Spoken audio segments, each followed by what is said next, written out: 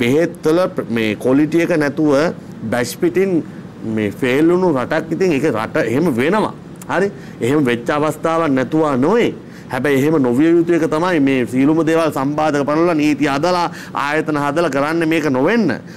මේ වෙලාවේ උණු ඖෂධ ප්‍රමාණය හිංගියත් එක්ක ඔය ඔය මෙතුමා අපේ වේලු කුමාර මන්ත්‍රීතුමා සඳහන් කරා වගේ ඒ ගෙනාවු සමහර බෙහෙත්වල අර වෙනද තිබුණු වෙනද තිබුණු වෙනද තිබුණු නිර්ණායක ඔස්සේම ක්වොලිටි චෙක් කරලා ගෙනාවේ නැහැ කියන එක අපි දන්නවා. නමුත් ඉතින් මේකෙදී දැන් සෞඛ්‍ය අධ්‍යක්ෂක ජෙනරාල්වරයාගේ අදහස සහ එතුමගේ කතාව වගකීම් සහිත ප්‍රකාශන නිලධාරීන්ගේ ඒතර මම ඔහු මත බැඳී ඉන්නවා මේක ඒ මත උනේ නැහැ කියලා ඔහු තරේ ප්‍රකාශයක් කරනවා නම් අපි මේක විමර්ශනය කරන්න. ඒතර අපි දේශපාලඥ විදිහට අපි මරණ දෙකක් සිද්ධ වෙන්නේ නිසා මේක බරපතල තත්ත්වයක්. ඒක අපි දේශපාලඥ විදිහට අපි බලන්න ඕනේ නිලධාරියා කියන්නේ මොකද්ද? ඒ වගේම අපිට පේන්න තියෙන දේ සහ සමාජ මතය මොකද්ද? ඒකට තමයි මේ වෙද්දී විමර්ශන කරලා පරීක්ෂණ කරලා ඒකේ සත්‍යතාවය තහවුරු කරන්න හදන අතරේ මේ බැච් පිටින්ම ඒ බෙහෙත්තල බැස් පිටින් මේවා පාවිච්චි නොකරන්න නැවත කෙනෙක්ට ඒක යොමු නොකරන තැනට ඒ කටයුතු සෞඛ්‍ය අමාත්‍යාංශ විසින් මේ වෙද්දී ක්‍රියාත්මක කරලා තියෙනවා.